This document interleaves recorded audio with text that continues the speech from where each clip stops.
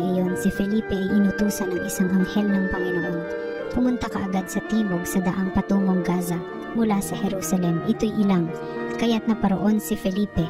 Sa darating naman ng isang Ethiopiang eunuko, siya ang tagapamahala sa lahat ng kayamanan ng Kandase o reyna ng Ethiopia. Nagpunta siya sa Jerusalem at sumamba sa Diyos. Siya'y pauwi na noon, nakasakay sa kanyang karwahe at nagbabasa ng aklat ni Propeta Isaías. Sabayan mo ang sasakyang iyon, sabi ng Espiritu kay Felipe. Patakbong lumapit si Felipe at narinig niyang binabasa ng Yunuko ang aklat ni Propeta Isaías. Kaya tinanong niya ang Yunuko, Nauunawaan po ba ninyo ang inyong binabasa? Paano kung mauunawaan ito kung walang magpapaliwanag sa akin? Sagot nito. At si Felipe inanyayahan niyang sumakay sa karwahe at umupo sa tabi niya. Ito ang bahagi ng kasulatang binabasa niya kung paanong walang imik ang tupa na dinadala sa patayan o ang kordero sa harapan ng manggugupit. Gayon din naman, hindi siya nagbuka ng kanyang bibig. Siya'y hinamak at pinagkaita ng katarungan. Walang maitatala tungkol sa kanyang mga inapo sapagkat kinitil dito sa lupa ang kanyang buhay. Sabihin mo nga sa akin, wika ng Yanuko kay Felipe, sino ba ang tinutukoy dito ng propeta? Sarili ba niya o iba? Buhat sa kasulatang ito isinalaysay ni Felipe ang mabuting balita tungkol kay Jesus. Nagpatuloy sila sa paglalakbay at dumating sa isang lugar na may tubig. May tubig dito, sabi ng Yunuko. Ako ba'y hindi pa maaaring binyagan? Sinabi sa kanya ni Felipe. Maaari kung sumasampalataya ka ng buong puso, sumagot siya. Sumasampalataya ako na si Heso Kristo ang anak ng Diyos. Pinatigil ng Yunuko ang karwahe. Lumusong silang dalawa sa tubig at bininyagan siya ni Felipe. Pagkaahon nila sa tubig, si Felipe kinuha ng Espiritu ng Panginoon. Hindi na siya nakita ng Yunuko na nagpatuloy naman sa kanyang paglalakbay na tumungtuwa. Namalaya na lamang ni Felipe na siya'y nasa Azoto. Mula roon, ipinangaral niya ang mabuting balita tungkol kay Jesus sa lahat ng bayang dinaraanan niya hanggang sa marating ang Cesarea. Ang Salita ng Diyos Sangkalupaang nilalang galak sa puoy isigaw. Ang lahat ng bansay magpuri sa Diyos, inyong iparinig papuring malugod, iningatan niya tayong pawang buhay, di tayo bumagsak, di niya pinabayaan. Sangkalupaang nilalang galak sa puoy isigaw. Lapit at makinig ang nagpapangaral sa Diyos at sa inyo'y aking isasaysay. Ang kanyang ginawang mga kabutihan nung ako'y balisa, ako ay tumaing. Dumaing sa Diyos na dapat purihin, handa kong purihin ng mga awitin. Sangkalupaang nilalang galak sa puoy isigaw. Purihin ang Diyos, siya'y papurihan yamang ang daing ko'y kanyang pinakinggan, at ang pag-ibig niya ay aking kinamtan. Sangkalupaang nilalang galak sa puoy isigaw. Ang mabuting balita ng Panginoon ayon kay San Juan. Noong panahong iyon sinabi ni Jesus sa mga tao, Walang makalalapit sa akin malibang dalhin siya ng amang nagsugo sa akin at ang nalalapit sa akin ay muli kong bubuhayin sa huling araw na susulat sa aklat ng mga propeta at silang lahat ay tuturuan ng Diyos. Ang bawat nakikinig sa Ama at natututo ay lalapit sa akin. Hindi ito nangangahulugang may nakakita na sa Ama. Yaong nagmula sa Diyos ang tanging nakakita sa Ama. Sinasabi ko sa inyo, ang nananalig sa akin ay may buhay na walang hanggan. Ako ang pagkain nagbibigay buhay. Kumain ng mana ang inyong mga ninuno nang sila'y nasa ilang. Gayon may namatay sila. Ngunit ang sino mang kumain ng pagkain bumaba mula sa langit ay hindi mamamatay. Ako ang pagkain nagbibigay buhay na bumaba mula sa langit. Mabubuhay magpakailanman ang sino mang kumain nito. At ang pagkain ibibigay ko sa ikabubuhay ng sanlibutan ay ang aking laman ang mabuting balita ng Panginoon. Pinupuri ka namin, Panginoong Heso Kristo. Maliwanag na makikita natin dito na ang Espiritu Santo ang gumagabay sa pagkilos ng mga alagad at sa paglawak ng pananampalataya. Siya ang nagsabi kay Felipe na magbantay sa daan patungo sa Gaza sa disyerto. Siya ang nagsabi sa kanya na sabayan ang karwahe. Siya din ang kumuha at nagdala sa kanya patungo sa Asoto. Everything was directed by the Holy Spirit. Pero maliwanag din sa ating pagbasa na si Felipe ay masipag. Sinusundan niya ang gabay ng Espiritu Santo. Siya ang una na pumunta sa mga Samaritano sa Samaria. Ngayon siya naman ang una nagbinyag sa isang hindi Hudyo, isang dayuhan na mula pa sa Afrika. Ang Ethiopia na ito ay may mataas na katungkulan sa kaharian ng Ethiopia. Treasurer siya ng reyna. Pero interesado siya sa relihiyon ng mga Hudyo. Nagpunta pa siya sa Jerusalem upang sumamba at nagbabasa pa siya ng Bible sa kanyang karwahe. Talagang naghahanap siya ng katotohanan. Noong napaliwanagan siya ni Felipe, siya agad ang nag-alok ng mabinyagan masasabi natin na siya ang unang African na naniwala kay Kristo. Ang pananampalataya niya ay nakasalalay kay Kristo. Noong kinuha na si Felipe sa piling niya, nagpatuloy siya sa kanyang paglalakbay ng may pagkakaiba. Masaya na siya kasi natagpuan na niya si Kristo. Siya marahil ang nagpahayag kay Jesus doon sa kanilang bansa. Kaya may malalim na pinagkakaugatan ang mga Kristiyano sa Ethiopia na kilala ng mga Coptic Christians. Hindi sila nagpadala sa mga Muslim na noon napa, napailalim sila sa kanila. Paano ko maintindihan kung walang magpapaliwanag sa akin? Yan ang sagot ng Ethiopian kay Felipe noong tinanong niya kung nauunawaan niya ang kanyang binabasa. Kailangan natin na may magpaliwanag sa atin tungkol sa Bible itong first things first ay isang attempt na magkaroon ng paliwanag sa Bible na binabasa natin araw-araw. Pero dapat interested tayo na naghanap ng paliwanag. At hindi lang interested na malaman, kundi handa rin sana na gawin ang ating nalaman.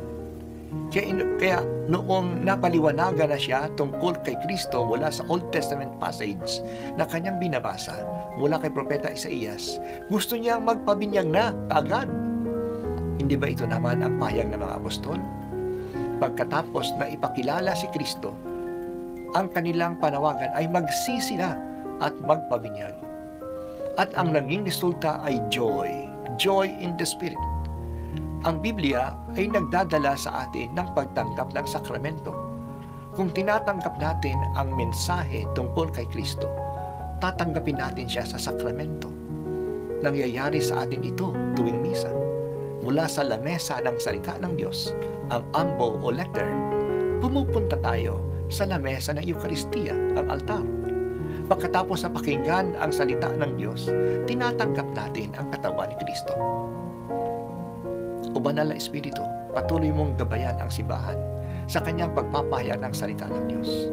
Patuloy mo ring buksan ang puso ng mga tao sa pagtanggap kay Kristo sa Biblia at sa mga sakramento. araw mga kapatid, ako po si Father Jeff Manlabig ng Holy Eucharist Parish, Bunuwak, Paranaque City. Halina po, pagsaluhan, pagnilayan natin ang salita ng Diyos, salita ng buhay.